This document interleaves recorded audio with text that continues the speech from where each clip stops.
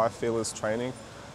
Um, I think a lot of people, when they look for a PT, it depends on a lot of factors. Whereas, you know, some people just want to basically look good or feel good or um, have better technique.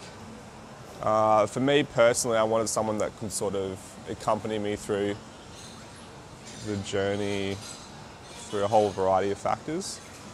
Um, and obviously, I wasn't too sure what I was uh, doing, well, getting into when I started. But obviously, you know, the end result is is paramount. I think for everyone at the the day, and I think that's one of sort of the hardest things as well is that um, you want someone that's fully encompassing uh, as a trainer.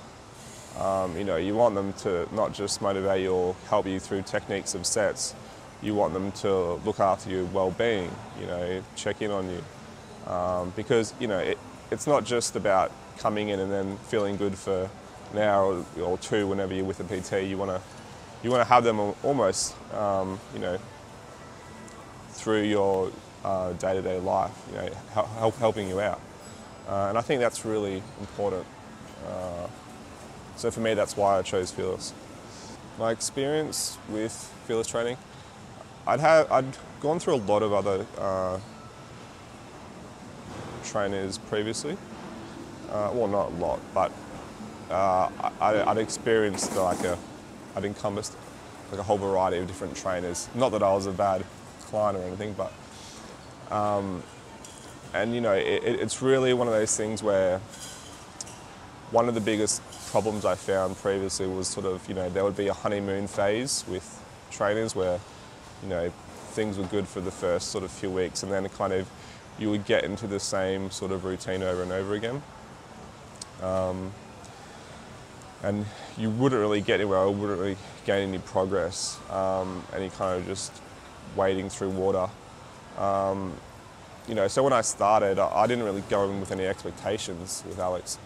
Um, but you know, he, he definitely like massively exceeded them because it's really easy to sort of get a client on board and you know sort of promise the world to them and you know really excite them. But it's another thing to really um, be there day to day to process it with them and um, and still maintain that level of consistency.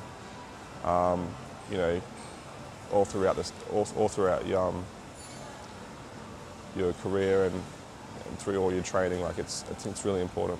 What did I learn to achieve at Fearless? Um,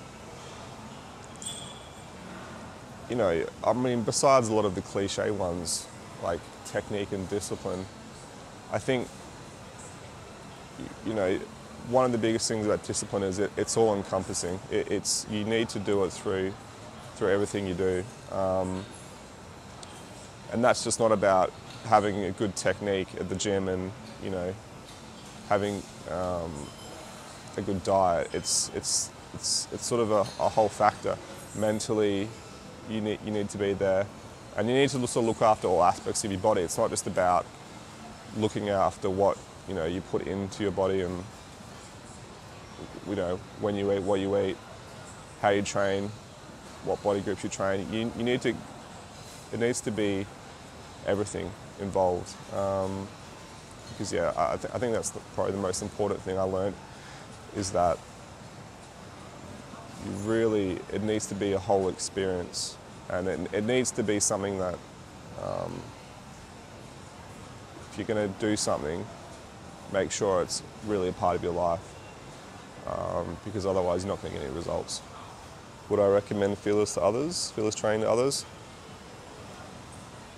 you know, besides like, besides the plug, like obviously, like I, I definitely would, and I have before, like genuinely.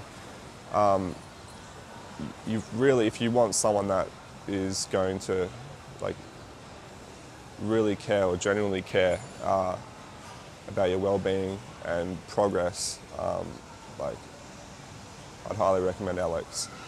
Um, you know, it's he really like in terms of work ethic, like he's probably like one of the best. Like, and just not and just not not just trainers alone, but like in people. Like, you know, I really um, admire his work ethic because it's so consistent.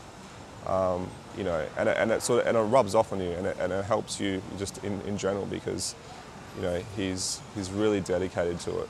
Um, and yeah, so like if if that's something that you really struggle with, um, I definitely recommend.